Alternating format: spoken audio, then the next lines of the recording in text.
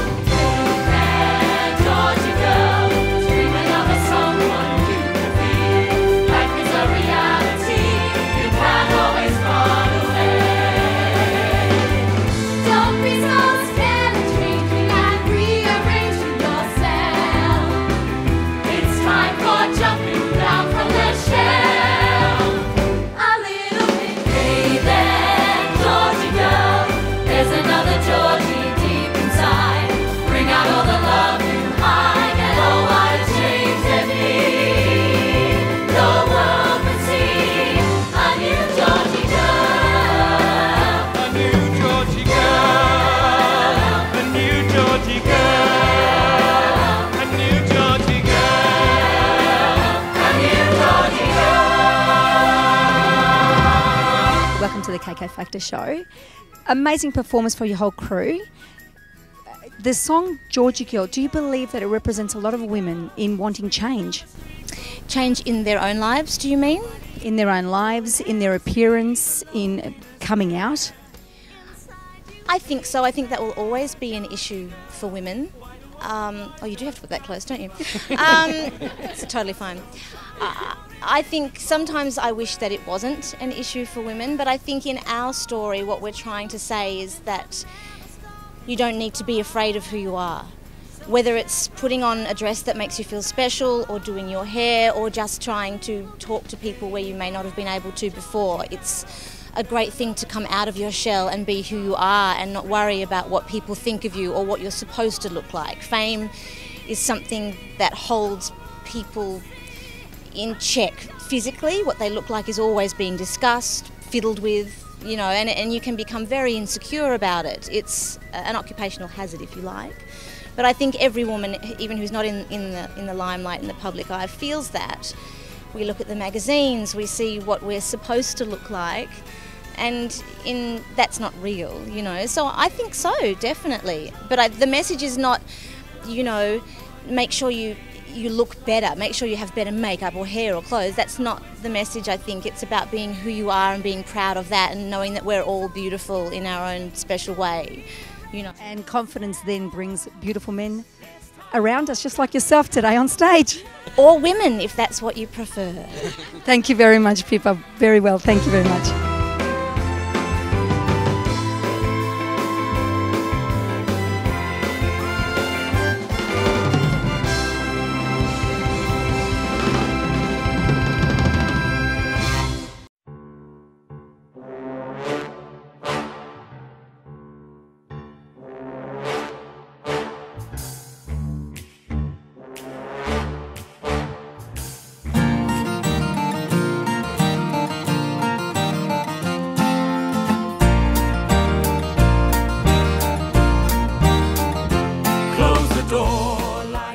Welcome everyone to the red carpet of the world premiere Georgy Girl, the Seekers musical. And tonight we'll be speaking to every celebrity that walks straight past us. Enjoy. We are with the adorable Harrison Craig. Welcome to the KK Factor TV show. Thank you for having me. What are you doing down here um, with Georgy Girl?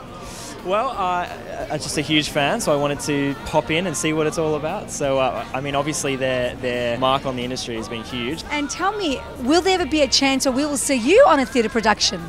Maybe there's been a few offers in the past, but uh, but I have turned them down. Um, I I mean, unfortunately. So, but I would love to in the future. So, We wish you all the very best. We loved you and we will continue to love you. Hi, Patti and Bert Newton.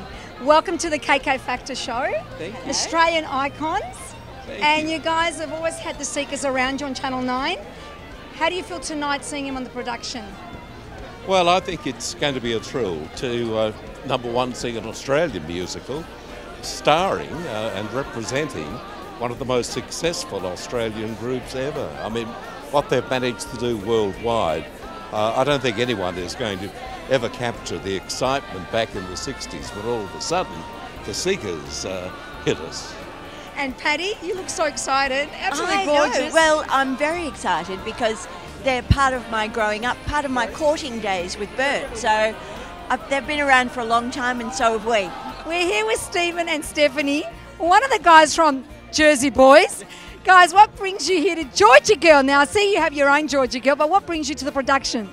Um, well, we know um, some people in the cast, obviously, and um, looking forward to seeing an Australian musical um, world premiere. Yeah, exciting. We're very, very excited to come and see. I've got a client in the show, so very excited to see it, and also it's an Australian musical, an Australian work. So we're really excited. Enjoyed tonight's production. He's tall, he's handsome, he's Matt. Matt, welcome to the production and welcome to our TV show, The KK Factor. tell us a little bit. Yeah, tell us a little bit about you. A bit about me. Yes, it's not every oh. day I interview a tall, dark, handsome man like yourself. Well, same. I haven't interviewed a tall, dark, handsome man for a long time. Well, I've just come back from Los Angeles and I'm very excited to be back here. I've got a couple of awesome friends in the show and I'm excited to see it. Australian musical is being done in Australia. It doesn't happen enough. It's a great night. And we're excited to have you here too, Matt. Enjoy the production. Thank you very much. We're here with the beautiful Jackie from Neighbours. Now, Jackie, I grew up watching you. Did you? Well, I And you grew up look listening to the Seekers, and I've just seen them in the flesh. So that was very cool, very What is exciting. one of your favourite songs that you Oh remember? well, Georgy Girl, of course, is iconic, and I can remember sort of as a preteen, sort of that's part of my introduction to music was listening to the Seekers. So this is going to be a very exciting night. Will we ever see you on a production, in a theatre like this? Uh, I had a singing teacher at drama school, and she made me promise I would never audition for a musical. So I'd say it's unlikely. well, you know what? You're amazing on Neighbours, Oh, and we love seeing you on the screen. Have a wonderful night Thank you tonight. very much. You're very welcome. And who do we have here? But Melbourne's the founder and director of TLC, the people that give to all the children. And it's great, guys, to see you giving something to yourselves, rewarding yourselves at a night here at the premiere, world premiere of Georgy Girl. What brings you to the production? Actually, we were invited by Bruce Woodley. He's one of our ambassadors, so we're, we're very glad to be here tonight to be able to share that and take a bit of time off as well. Anna, you look beautiful as always. As always, are you looking forward to the production? Absolutely, grew up uh, listening to this music, so it's fantastic. And one of your favourite songs? Hey there, Georgy girl. Can you give me one line? No, no, no. Okay, together. Okay. This is for the kids. Ready? Okay, ready? One, two, three. Hey there, Georgy girl. Anna and Tim, TLC. Thank you very much. Enjoy the production. Holly, you are a regular on the red carpet. Once again, welcome to the KK Factor TV show. What brings you to Georgy Girl? I got invited. I got an invitation, so I came. I don't know why I'm laughing. I think I was expecting more. But Well, anyway. I've got a I've got a student who's in it, so Ah, and- and now I- there's a story. and I have and I have a couple of friends that are in it. But I got invited, so that's why I'm here. enjoyed the show. Terrific. Thank you very much.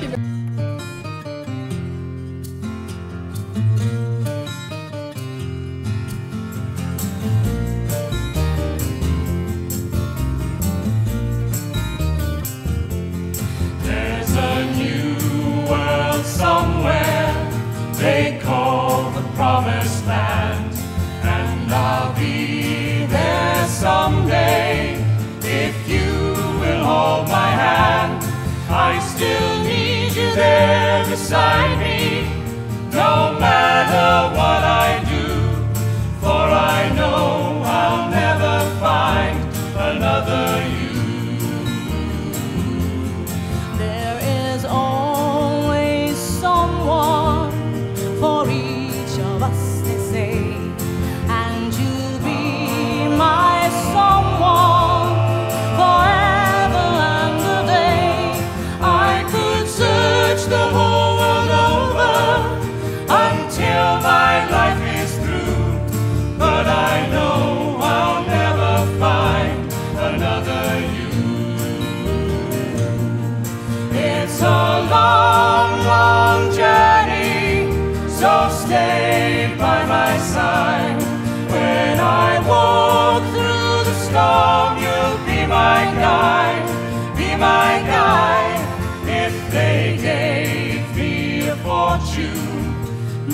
Pleasure would be small. I could lose it all tomorrow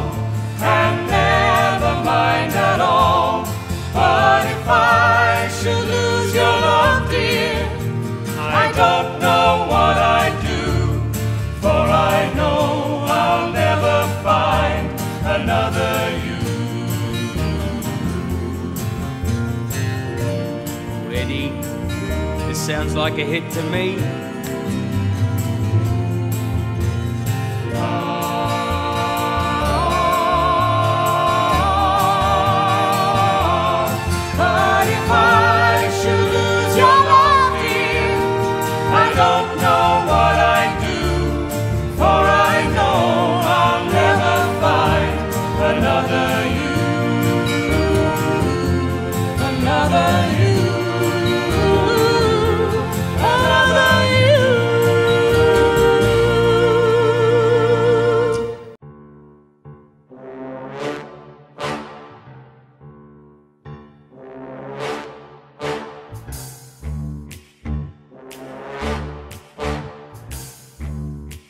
Welcome back, everybody. And the KK Factor Show, we'd love to have our local talents. And I'm here with an extraordinary woman, a Melbourne icon.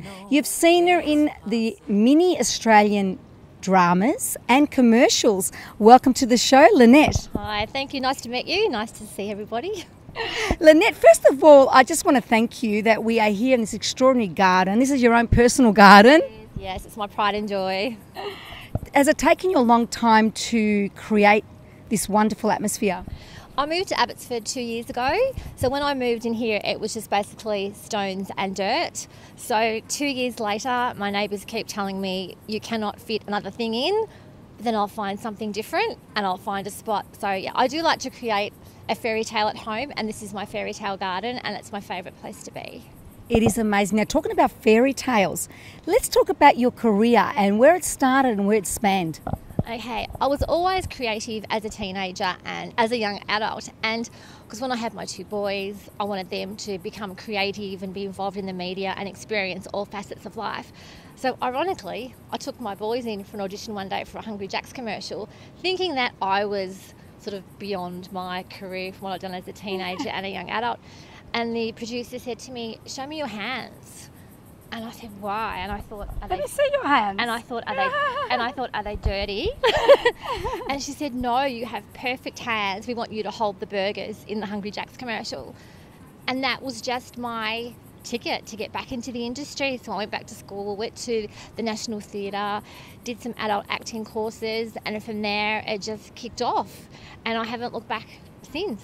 So, from holding a burger, we went to Blue Heelers, is that correct? We did, yes. I played Kate Healy in Blue Heelers. That was a lot of fun. Um, the cast and crew at Blue Heelers are just amazing. I walked in there. What happens when you do a TV show is you have a read where the group of cast all sit around a table with your scripts in hand and you go through the script for the next day. And it's so much fun, and you get to know the crew members, you get to know the cast especially. And the regulars on Blue Heelers were just the most beautiful, like Martin Sachs, um, Lisa. Um, um, what's her name? Lisa. That's okay. We know Lynnette, okay? yeah, yeah. But look, you know, these are people who've won you know, gold logies, silver logies, and they just embraced me as one of the team. And that was probably one of my favourite jobs that I've ever done within TV. How long were you on Blue Heelers? I was on six episodes. I played Kate Healy. Kate Healy owned the local takeaway food shop next to the railway station, apparently. Did Kate Healy eat a burger? No, she didn't. she didn't. She spent most of the time in the hospital crying because her son had been bashed up in some robbery. So it was very dramatic. That's what was called Blue Heelers. It was quite a dramatic Aussie drama. It is an Aussie drama. And talking about Aussie dramas, Slayton Gordon, You're part of their commercial. Tell me a little bit about that. Oh, look, it's one of TV commercials are an actor's dream. Um, if you can get a TV commercial, they're very well paying because basically they buy a piece of your soul to sell their product. So over the last, I would say, 30 years, I have done dozens and dozens of TV commercials, and they're all good fun. I've done animated commercials where I've been flying in a car through outer space past the moon. And I remember when my boys were younger, they used to say to me, "Why can't you have a normal job like everybody else?" What is a normal job, actually? So, Lynnette, with a career that spans from TV dramas to commercials, if there's one person that can give us the best advice, um, if you want to have a career in the movie industry or on TV, basically, it would be yourself. So, give us some advice um, to all the people that are looking at joining TV, television, just like me. Actually, I will learn from you as well because I wouldn't mind doing some com- commercials. Um, tell us a little bit about it. Okay, you have to realise that it's a lot of people have the same dream. Um, the celebrities that we see, you know, in Hollywood and also in Australia, they are the lucky ones. they they've got the talent, but they're also in the right time at the right place. So we have to be very aware that there are other subsidiaries of this industry who will cash in on your desire to want to be on TV, to want to be on television commercials. So, the best thing I can suggest to you is get on your computer, um, Google um, websites like Star Now. StarNow. StarNow.com.au actually advertise a lot of projects for TV for auditions. They don't charge you. Um, that will be the best start. Go through Star Now to start applying for jobs. Take some really great photos of yourself. You know that the iPhone technology today is amazing. You can take your own photographs. If you go to an agent who says, we want you to, you know, have our photographer take your photos. It's going to cost you $1,000 to get you on our books. Think twice because if you're paying them $1,000 to get on your books, if they have 10 people a day wanting to go on their books, they're making $10,000 a day and they haven't even gotten you a job yet. So, an agent should get money from the jobs that they give you, not from signing you up when they haven't got you a job yet. So, be very careful to pay out money. You should only be giving an agent commission. That advice is amazing advice. But Lynnette, how do we make ourselves stand out from the rest? Is there a particular course that we need to do? You do need to stand out from the rest because there are so many people just like you. So you need to find your niche. What are you good at? Are you funny? Are you quirky? Are you a mumsy type? Are you a dadsy type? Are you a funky teenager? Are you a student teenager? Are you, know the nerdy teenager? Find your look. Make your look stand out from everybody else. Once you decide what your look is and what your personality is, you can always change it know, regarding on what project you're going for. But directors and casting direct or casting producers are always looking for a look. So if you've got a specific look, that will draw you in. So when you have your photos taken, whether it just be a friend with your iPhone, make sure you identify your look and that will be your presence. So it won't necessarily be a photo someone's looking at, it will be your look, your personality, where you fit in. And that is my best advice. Decide who you are, portray yourself, and then promote yourself as that look. Well, I'm KK and I'm talking to Lynnette on the KK Factor TV show. Lynnette, what about courses? Is there a course that we need to do or, and, or go to an acting school? There's lots of acting schools, but there's lots of affordable acting schools. The Council of Education in Flinders Street in Melbourne, I'm not sure about other states, they have lots of acting courses for adults. You can do courses like acting 1, 2, and 3, text and style. You can do dance, you can do music, anything that you can add to your resume to show that you are serious about becoming an actor, serious about portraying yourself in the media, in TV, in commercials, etc. Just do whatever you can. There's even local group. You'll find there'll be a local theatre company in your area. Um, I suggest Google in your area, see what's around, jump on board, see what you enjoy. You'll meet lots of people who have the same interests as you, and they will also be able to connect you with the right people as well. So just get on Google, look in your area, find people like yourself, and the rest will follow. Lynnette, thank you so much. Once again, welcome to our show.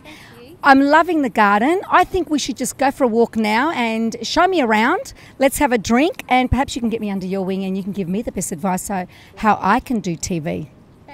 Thanks, everybody. Bye. How amazing was the production of Georgy Girl and talking to Pippa Grandison, who was representing Judith Durham. Amazing performance, her whole crew. She's an absolute darling, and I hope we all learned something from the song Georgy Girl. It's all about us having confidence, looking great, and being surrounded by beautiful men. Till next week, I'm Rilla Cricalis, the KK Rock Chick. I hope you guys enjoyed the KK Factor Show. Follow me on Facebook and Twitter, Rula Cricalis, KK Rock Chick. Don't forget to follow and subscribe to our YouTube channel for the latest episode, past episode, bloopers, and full interviews. Love song, how it.